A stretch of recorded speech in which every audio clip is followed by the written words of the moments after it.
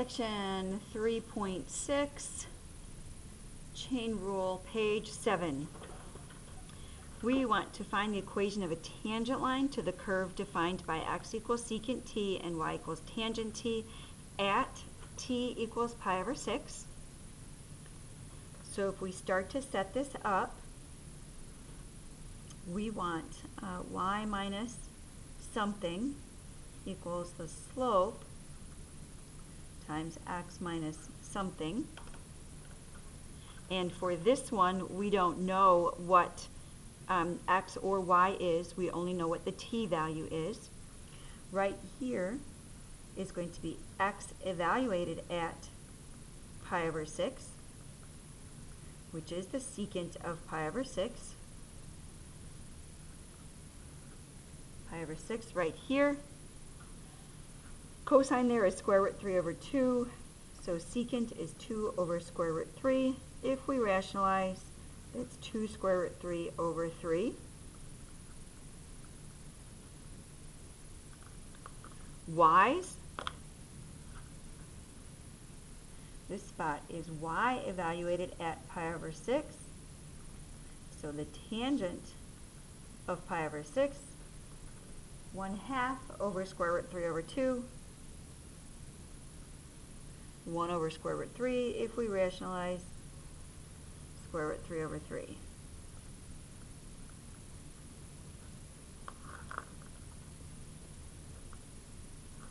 Okay. Right here is slope. And since this is equation of a line in terms of y's and x's, the slope we're looking for is dy dx at pi over 6. We don't have an equation for y's and x's, so again, we're going to come up here and let's find these derivatives in terms of t. dx dt is the derivative of secant. That's secant t tangent t. And uh, dy dt will be the derivative of tangent, or secant squared t.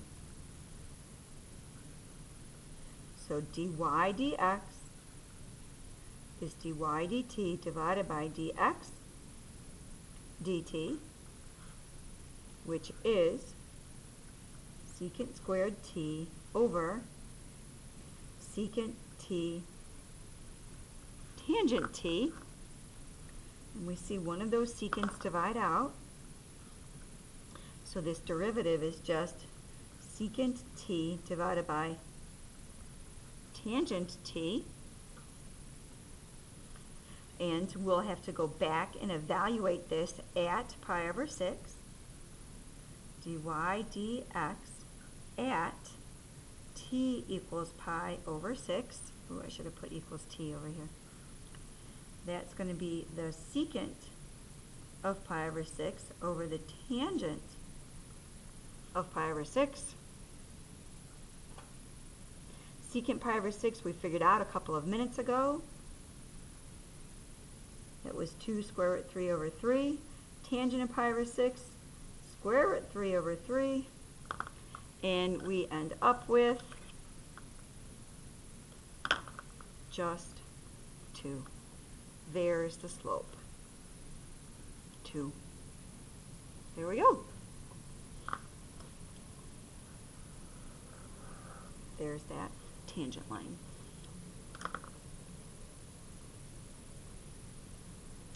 All right, now come down here and let's look at this one. Oh boy, um, f composition g prime at the given value of x. So we have this function f of u and this function g of x, and we want to find the composition's derivative at x is negative 1. So let's just look over here. We want to find f of g prime. If we write that out as nested notation, this is f of g of x prime.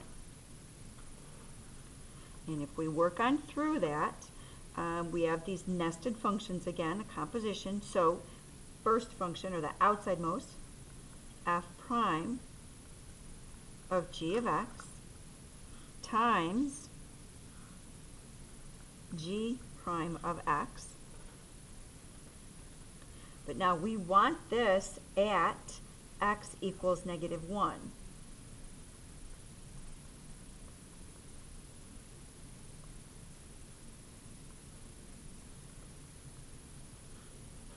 At negative 1. Uh, I don't like that notation. That looks like times negative 1. Let's do this. At x equals negative 1. And then subbing in, this is f prime of g of negative 1 times g prime of negative 1.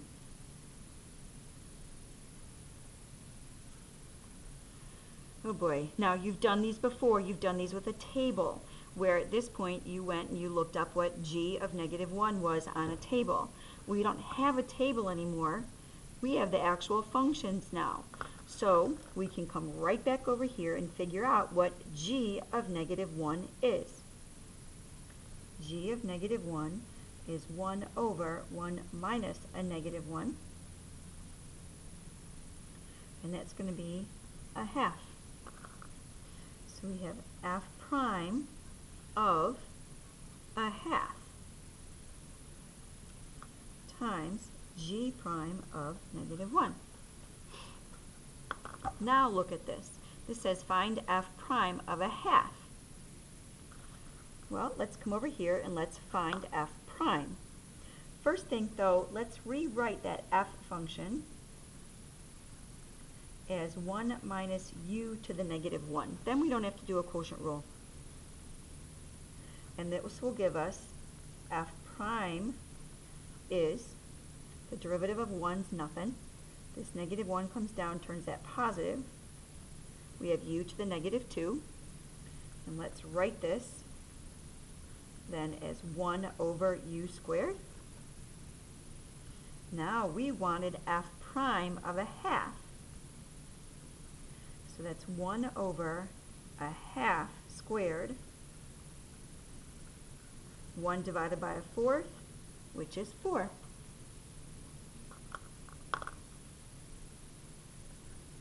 That bit's 4. Now, let's find this one, g prime at negative 1. Here's g, let's find g prime. Again, I think I'm going to rewrite that g of x. Uh, so I don't have a quotient rule. So how about 1 minus x to the negative first? Then when we do that derivative, we'll have negative 1 times a 1 minus x to the negative 2. Don't forget, times the derivative of the inside, negative 1.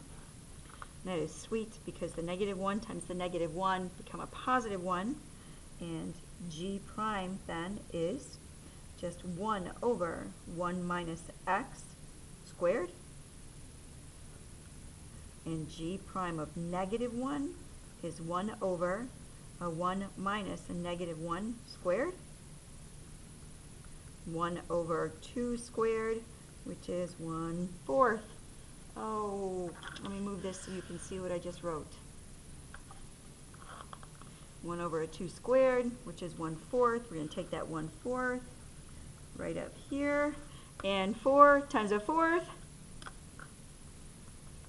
1. Perfect. Thank you.